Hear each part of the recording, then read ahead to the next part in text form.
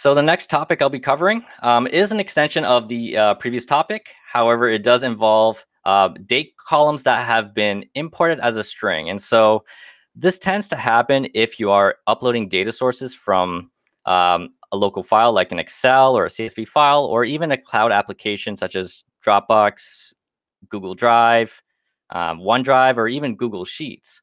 Uh, you may notice that you know before you import the data, the sales date column is being read as a text or a string as seen by the A icon beside the column name.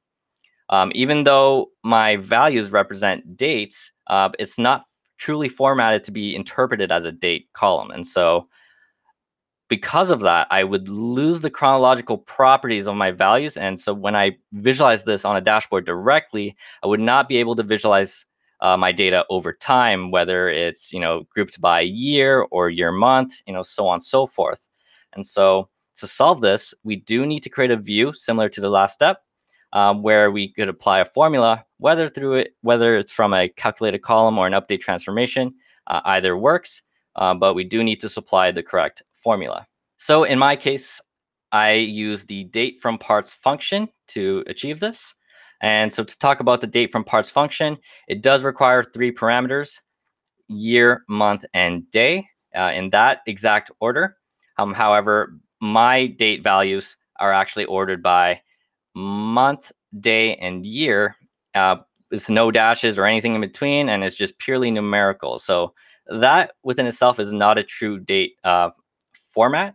And so what we need to do is with the date from parts function, we need to combine that with the str with string functions. So um, what I use are right, left, and substring to extract these elements.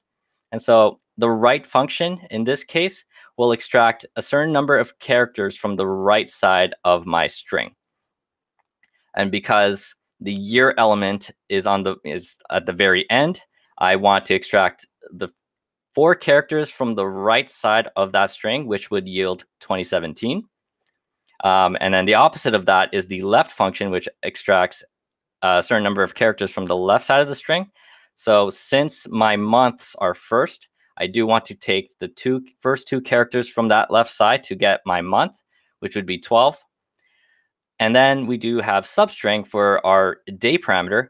And because the day element is in the middle of my string, we need to specify where we want to start um, parsing by and how many characters to parse by. So because the date element starts on the third character of my date value, uh, we set the second parameter as three, which is the start location. And then the last parameter to how many characters we want to start by, uh, parse by.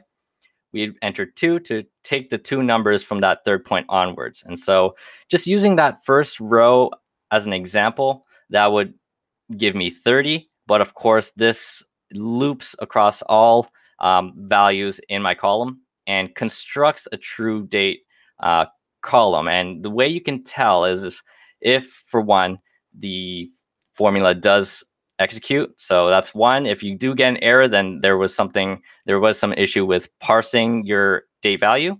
But on top of that, you can also see the calendar icon, uh, which does represent a date column. And so with this column, I can now have access to the chronological properties of my data. Um, so say if I want to visualize something by month or by year, whatever the requirements may be, revolving dates, the possibilities are there.